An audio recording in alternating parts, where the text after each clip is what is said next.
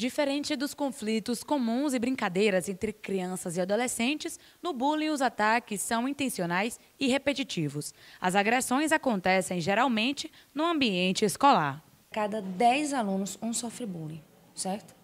E o bullying todo mundo sabe que é uma agressão, que ela é insistente, ela é proposital, né? E ela é, é intencional para um determinado indivíduo, que pode ser feita por um outro indivíduo ou um grupo. O bullying ele, ele pode acontecer de uma maneira é, verbal, física, como ele também pode acontecer em relação aos aspectos sociais, por exemplo, inventar calúnia, inventar fofoca, mentiras sobre a pessoa, a exclusão social. Especialistas afirmam que a prática afeta não só as vítimas, mas também suas famílias. Em casos mais graves, pode levar à depressão e deixar marcas para toda a vida. Aqui em Lauro de Freitas, um caso de bullying numa escola de classe média alta chamou a atenção quando uma mãe desesperada fez um desabafo nas redes sociais, relatando o sofrimento da filha ao longo de anos. Em seu desabafo nas redes sociais, Raquel conta que a filha chegou a ter desmaios e crises de ansiedade e até mesmo tentou suicídio no banheiro da escola. Foi agora em agosto que eu percebi que o caso era muito mais sério, porque quando a gente falava com ela sobre bullying, sobre é, alguém estar tá chateando ela na escola, quando eu ia reclamar, ela falava: Mamãe, não reclama, porque eu, é, não vai dar em nada. E vai acabar que vai me prejudicar mais ainda dentro da escola, porque as, os meus colegas vão fazer mais bullying comigo.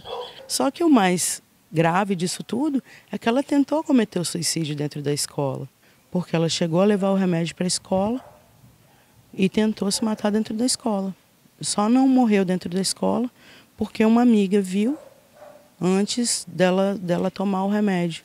Ainda segundo a mãe, a instituição não se posicionou sobre o assunto e apenas entrou em contato para informar de um novo boleto que seria gerado caso ela não cancelasse a matrícula.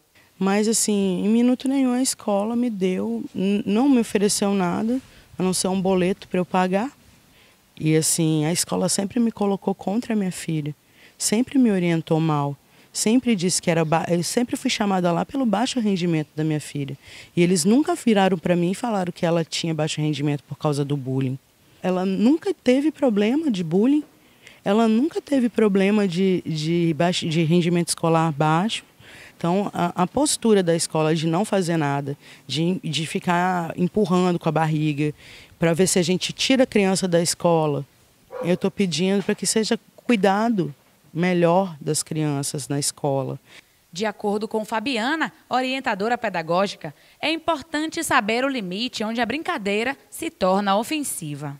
Antes de fazer a brincadeira, ou então você começa até uma brincadeira, mas você precisa saber o limite do seu colega, até onde ele realmente gosta, até onde ele não está permitindo mais, e que muitas vezes a vítima finge que está bacana, que, que é legal, para ser inserido e ser aceito no grupo. Mas aí ele não está bem.